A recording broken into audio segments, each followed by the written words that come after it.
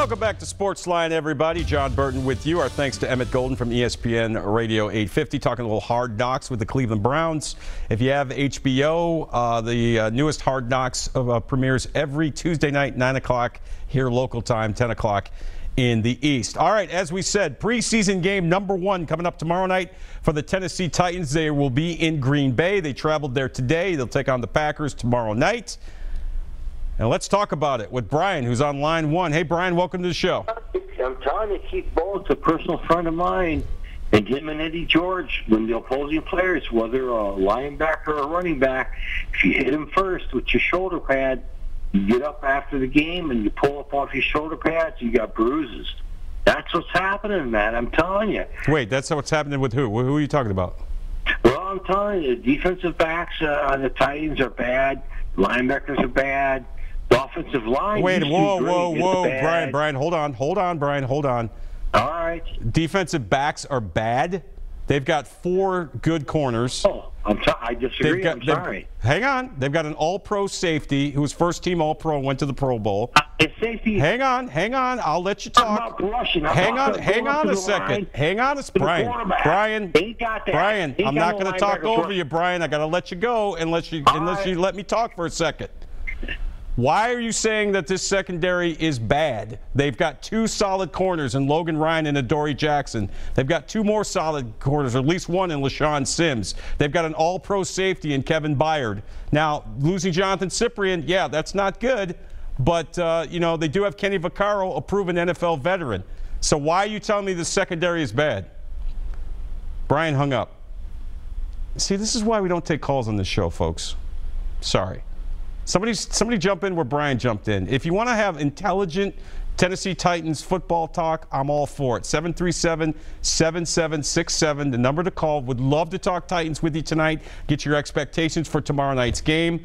But when you call up and make ridiculous statements like that and you have nothing to back it up, and then when you're challenged, you hang up, it's not going to work, okay? So let's have some good back and forth Tennessee Titans talk here. Let's not jump off the handle. It's the first preseason game. We haven't gotten a look at him yet. You know, to make sweeping judgments this early is a little premature. No? Meantime, while you think that over, we're going to hear from the Titans' second round pick, Harold Landry out of Boston College, who um, will make his NFL debut tomorrow for the Titans defense. Here's a listen. Like going against Taylor every day and having Rack and D Morgan in the room with me and being coached by his coaching staff, uh, I can definitely see the improvement every day. They're asking Dean uh, just about, you know, you're, you get off the ball and you're quick off the snap and stuff. He said, yeah, he's very good at that. It's all the other stuff that we're trying to get up to speed. What are some of the other things that you think you could improve on? Uh, so I mean, yeah, I mean, I'm definitely working on improving in the run game. But like I said, when you have who I think is the fastest offensive tackle coming off the ball at you every play, you're bound to improve. And I think I am making strides at that. And like I said, I think it's all coming along well. Um, I'm improving. I feel like the guys on defense and offense, I feel like we're all a close knit group, um, and that's what I'm most excited about. I know all, all rookies obviously juiced for the first game, but you personally, I mean, what's can you wait for Thursday to get here? Uh, yeah, I just take it a day at a time. Because if you think too far ahead, you're just gonna miss out on the day you're at. Um, but no, I'm definitely excited. Uh, first time strapping it up against another NFL team, so it's definitely gonna be an exciting time. Yeah, I mean, putting the helmet on and going out in the stadium and going through an actual game. Yeah. I mean, that's kind of what you work for. Yeah, it's gonna be live Thursday night. I'm excited. You thought at all about the fact that it's Lambeau Field? I mean, that's kind of a mecca to a lot Yeah, of that's people. yeah, yeah, exactly. And it's Thursday night. Like I, I'm excited. Like you, you may not see it on my face because I'm a little tired, but but no, I'm definitely excited. Uh, like you said, historical place. Um, it's gonna be a good time. As you continue to go through this process, is it almost leaps and bounds how, how much you grow from a day-to-day or week-to-week basis with everything you've been thrown into at this point?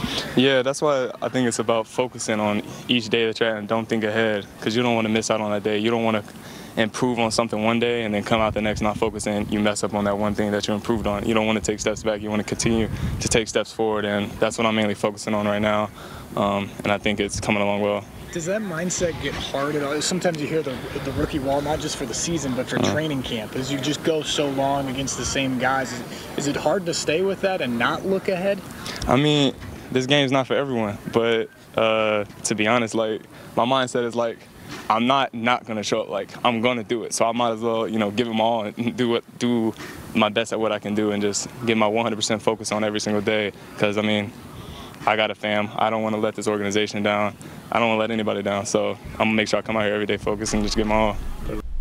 All right, that's Harold Landry, Titans second round draft pick, edge rusher out of Boston College, set to make his NFL preseason debut tomorrow. Definitely be looking to keep an eye on him uh, as uh, the game progresses. A lot of new faces on this Titans team that we'll be taking a look at tomorrow night. Let's go back to the phones.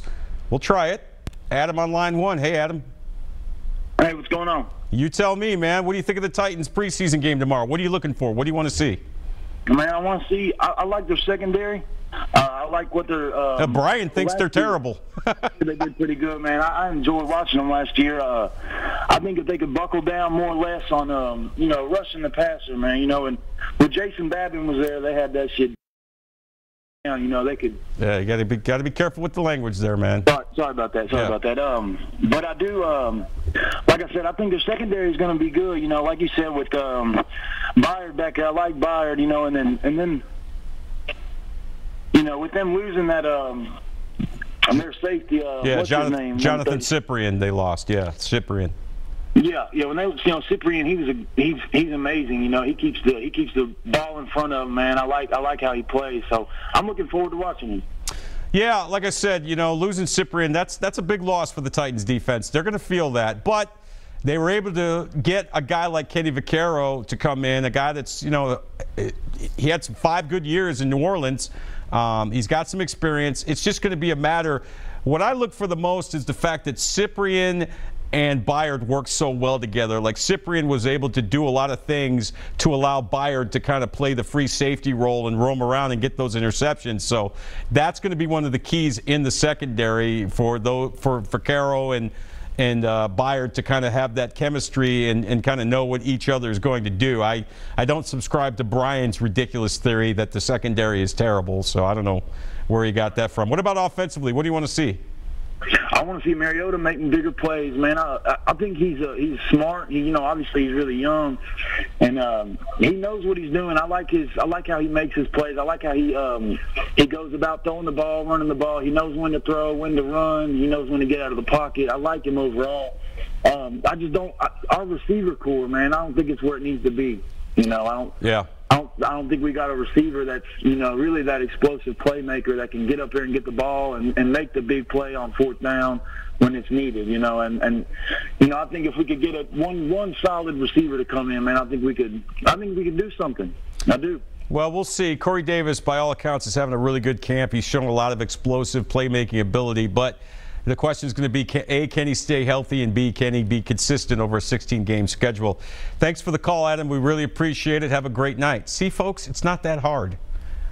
We're going to take a break. When we come back, we're going to talk professional wrestling with the newest member, one of the newest members of the pro of the pro of the professional wrestling WWE Hall of Fame, Hendersonville's own Jeff Jarrett, the King of the Mountain. A big show coming up that he wants to talk about. And we're going to show you how it's done with phone calls. Adam did a great job. Brian, not so great. You could be next. Stay with us. We're back after this.